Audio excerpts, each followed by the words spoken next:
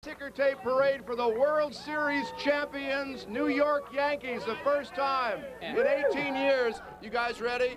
From their new CD, Keys to Ascension, if you're all set, for the first time, also in 18 years on live television, give it up for Yes! Yes!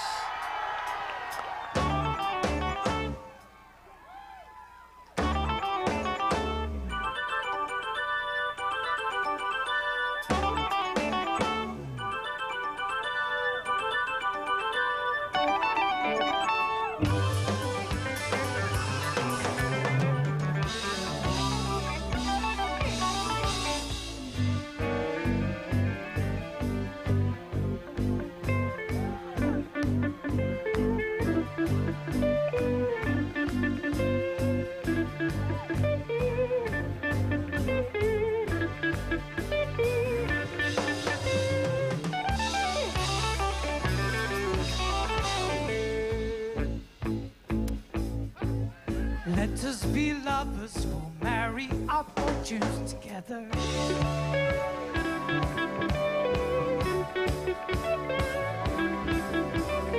I got some real estate here in my bag.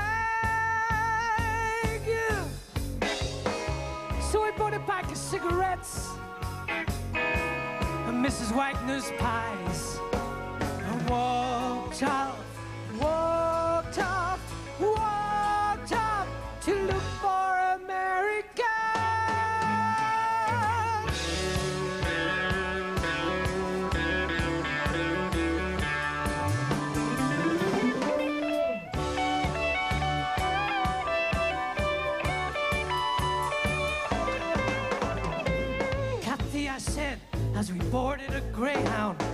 Pittsburgh.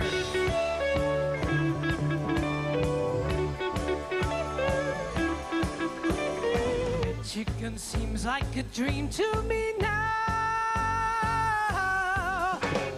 It took me four days to hitchhike from Saginaw.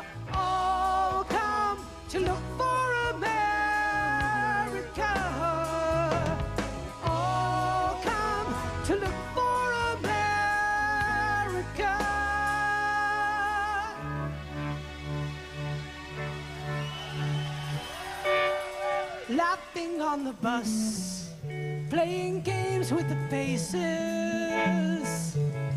She said the man in the gabardine suit was a spy. I said, be careful, his bow tie is really a camera.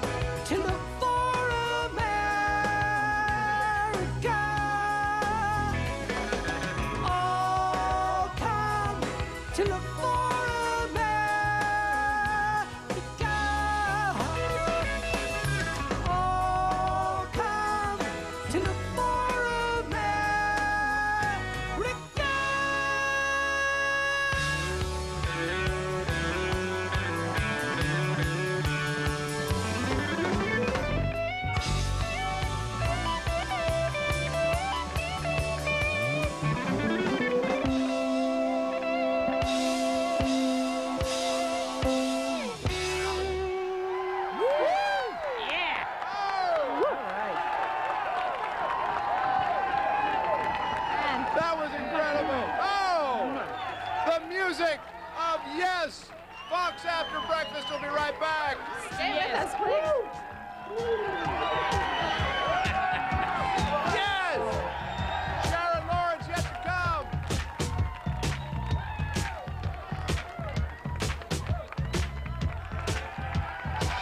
Corner of 5th and 26th Streets. The music of Yes, their new double CD uh, release is Keys to Ascension, and they're playing an encore for the crowd here, roundabout classic Yes song. Lori, I know you have to go do a show, right? I know, I gotta do a show, but eat your heart out, Chunkster. Yes is here and you're not. Thanks, Maury. It's a big day in New York City. The first time in 18 years, the Yankees have a ticker tape parade later. We take a shot of ticker tape land and how it's getting itself ready for the Yankees parade? Let's take a shot of that if we can. That's the scene where later the World Series champs New York Yankees will have an incredible ovation here in New York. And while the crowd here gets a little encore performance from Yes, and I'm going to bask to you in the apartment. All right, thank you very much. We can actually hear it through the windows up here in the apartment. What a fantastic Oh, yeah. performance that was. And I'll bet you he's sorry he missed it. Phil Kogan, I actually, hopefully you didn't miss it. You're spending your week in the Detroit area of Michigan. Did you get a chance to see the concert? Absolutely, it was amazing. We have some fans out here, so we were watching Oh, it. that's All I can say about yes is yes, Yes. and we got it. Good for you. Amazing.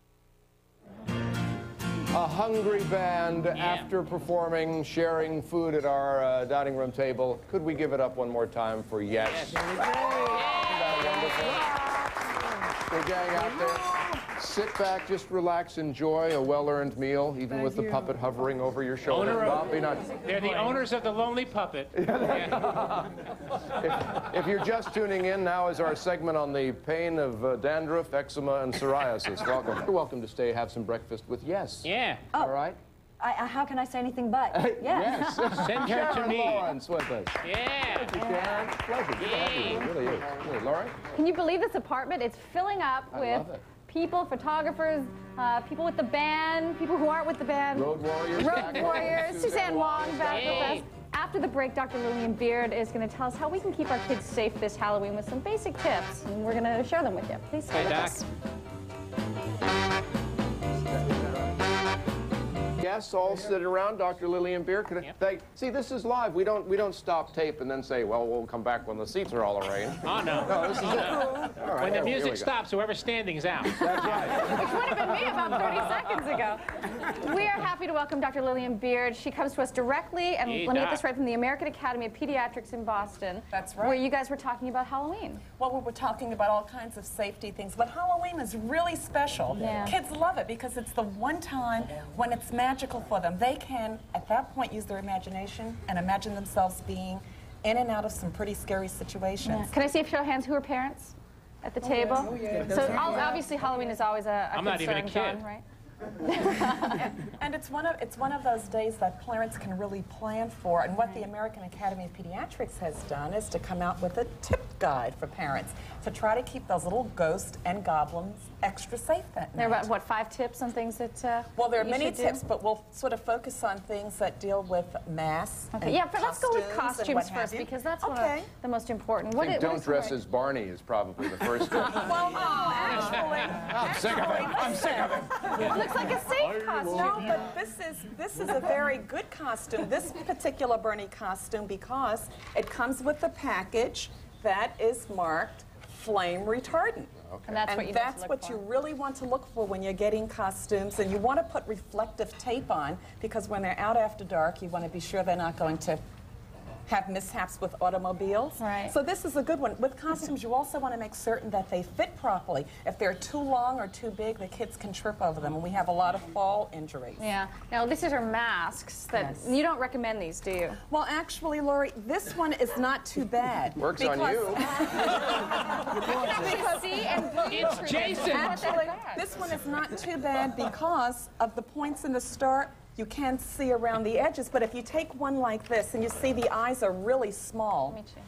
and the nose is really small, kids can't oh, see that's bad. and they can't Yeah. breathe. So if you have a mask, Yeah, but her nose is wet if you and have one like that, parents can actually cut the holes, make the openings larger so that the kids can see around them, make the nose part so they can actually breathe. Dr. Beard, shouldn't parents be going out with the kids wherever possible? They absolutely should. Yeah. In fact, I suggest that parents set boundaries. Maybe limit it to your block, to your building, to your neighborhood, so that your neighbors know that your kids are coming and their treats are likely to be safer treats. Yeah. Talking about treats, Oh boy. this is a This is big, the kind of thing you get. big area for hazards. Dig in, guys. because That's my stuff, Doc. There, are- there are really some pretty good treats here. I mean, you really really want to be sure that you have that you get the bite size individually wrapped. Uh, when you have the loose candies, they're a hazard, especially those that are this side. Yeah. Will be so make sure, choking I guess make sure things are wrapped up and that there's no puncture holes in them and stuff like that. Unfortunately, we are running out of time. I'm sorry, Dr. Okay. Mobley. Should we also right, mention but that for parents lancer, and kids yeah. alike, have some Mylanta Yeah. ready? Well, actually, actually, you hope it's not going to be necessary, but if they overdo the Yeah. treats and they get that up, upset stomach, then you want to give them a light diet the next day. And if you need something, get the over-the-counter Children's Mylanta ups, upset stomach. We're giving our floor director an Yes. upset stomach as well. Dr. Lillian Beard with us. Thank you very much. Yay. Appreciate your safe, advice. safe face paint. Indeed. Don't forget. Tonight on Fox, as you paint your face safely, Halloween's own Goosebumps uh, tonight on Fox, and also uh, the Clio Awards. We'll be back to hand out the Candy Awards to Yes and our other guest, Yeah. Sharon Lawrence, Dr. Lillian Beard, when Fox After Breakfast continues.